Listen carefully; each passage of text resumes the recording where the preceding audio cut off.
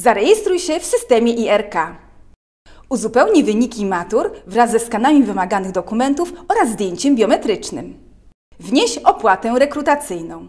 Jeśli spełniłeś wymagane warunki, czekaj na listę rankingową wstępnie zakwalifikowanych kandydatów. Jeśli jesteś na liście wstępnie zakwalifikowanych kandydatów, dostarcz oryginały dokumentów w terminie do komisji rekrutacyjnej.